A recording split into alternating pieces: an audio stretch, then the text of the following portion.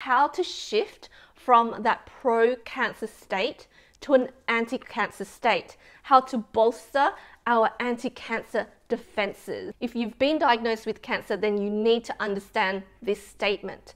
All of us have cancer cells, but not all of us develop cancer. Our bodies have natural defenses against cancer. When we understand that cancer is biology, that it is science, when we understand what allows cancer to grow and develop and spread, then we can work backwards. We can work backwards to halt its progression. In today's video, I'm going to summarize my key insights into my favorite book, Anti-Cancer, A New Way of Life by Dr. David Servan Schreiber. Found this book randomly in a bookstore days after my diagnosis, and it has changed the trajectory of my healing journey. This book has been such a game changer because it not only educated me on what cancer really is, also propelled me to take a more proactive approach to prevent a recurrence. The main narrative in medical culture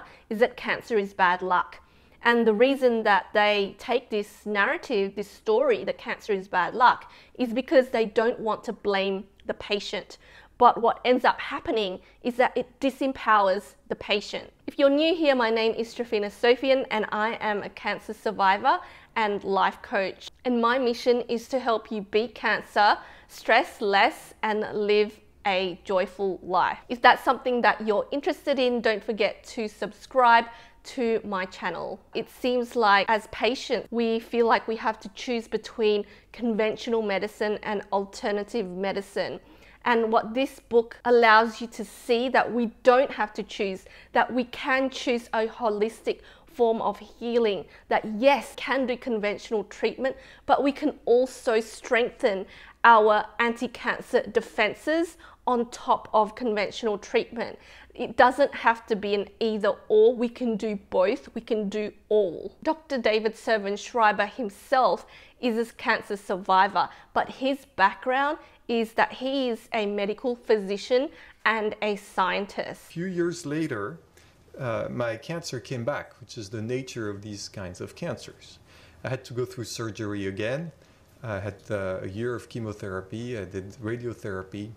Uh, and this is when I realized that if I stuck to only conventional treatments, which saved my life a second time, if I stuck to only that, I would have a conventional outcome which did not look good for my kind of cancer.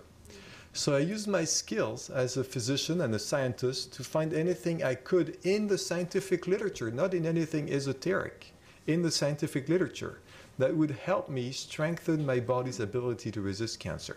And this is the scientific story I want to tell you. When we believe that cancer is bad luck, when we believe that we don't have control, then what happens is that we take a backseat approach, we become passive, and all we can really do is hope for the best that our treatment is going to work. However, this book has really encouraged me and given me confidence to try out different things that will maximize conventional treatment. Dr. Servan Schreiber says that if you do the things in this book, then the price to pay is to lead a more fully conscious, more balanced, and in the end, a more beautiful life. Okay, let's get to the core idea of this book. Well, to put it in a nutshell, we need to treat not just the cancer and also what Dr. David Servan Schreiber calls the terrain, aka our body, aka the tumor environment. Think of cancer as the seed and our bodies as the soil. If you understand this metaphor, then you realize that the seed needs a particular environment, right? Sun, water, and fertile soil for it to grow and thrive. If the seed, however, is not in a favorable condition for it to grow, it's going to lay there dormant and not going to do anything. It's not going to grow, it's not going to thrive, it's just going to sit there and probably shrivel away. And that's how we need to think about cancer. We can't just be treating the cancer, the tumor. We also need to also treat the terrain, the soil, which is our bodies. There are three ways in which we can manipulate our terrain in order to reveal cancer's weakness. Now let's look at the first one. We have powerful sentries, aka the immune system. One of the cool stories that we're told in the book is the story of Mighty Mouse. What happened was in an experiment, scientists injected cancerous cells into mice, and what usually happens is that these mice form tumors and later die. However, one day they found that one of the mice had actually survived these injections, and they later injected the mouse with greater and greater amounts of cancerous cells, even as much as 10% of its body weight. And still, this mouse, Mighty Mouse, resisted forming tumors. And what they found is that Mighty Mouse had a very active immune system.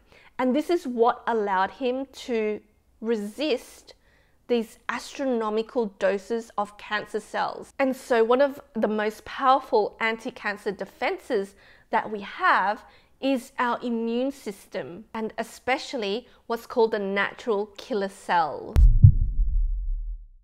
The next idea that reveals cancer's weakness is what's called inflammation. If you don't know what inflammation is, just imagine if you had cut your hand open with a knife. Now that finger is going to be red, it's going to be hot, and it's going to be painful. Now that is inflammation at work. Now acute inflammation is actually very useful for the body because it allows us to repair damaged tissues, just like that cut in my finger. And it does this by releasing inflammatory substances such as cytokines, prostaglandins, and leukotrienes. However, when we have chronic inflammation, which the cause I'm going to be talking about later on in the video, so make sure you watch till the end. If we have chronic inflammation in our bodies, then cancer cells that may be dormant in our bodies can exploit that perfect environment for its growth and spread. Now, about one in six cancer is due to a pro-inflammatory state. For example, cervical cancer is due to chronic infection of the human papillomavirus. Colon cancer is due to chronic inflammatory disease of the intestine. Cancer of the stomach, infection of the stomach by Helicobacter pylori. Cancer of the liver is caused by infection of Hep B and C virus. Mesothelioma is due to inflammation of the lungs caused by breathing in asbestos. Lung cancer can be caused by toxic cigarette smoke. There are lots of things that can cause chronic inflammation. In a normal repair process, inflammation turns on and then it turns off. However, with chronic inflammation, because the inflammation never stops, cancer is then able to exploit this perfect environment, this fertile environment for its growth and spread. And so essentially, we can regard cancer as a wound that never heals. If we're able to dampen down the inflammation, then that's going to halt cancer in its tracks. The next strategy that we can use to halt cancer is to cutting its supply lines. And this relates to a term called angiogenesis, which simply means the generation of new blood vessels. Cancerous cells cannot grow into tumors or masses if they don't have a blood supply. It needs a blood supply to live, to give it nutrient and take away the waste product. And therefore, if we can prevent the blood supply from forming, therefore we can prevent tumors from growing because essentially microscopic cancer cells don't hurt us. It's only when tumors grow big and they invade vital organs in our bodies that they become lethal. And so angiogenesis becomes a very important point of cancer's weaknesses because if we can disrupt the formation of these blood vessels, if we can disrupt the process of angiogenesis,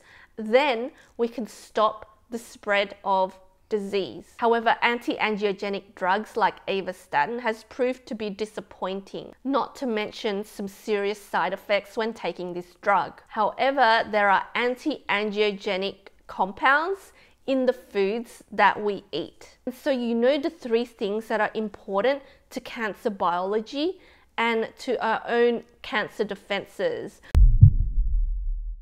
The first is immune system, the second is inflammation, and the third is angiogenesis. I hope this video is useful. Let me know in the comments which part of cancer biology was surprising for you. And don't forget next week to watch part two of this video about how we can practically bolster our natural cancer defenses.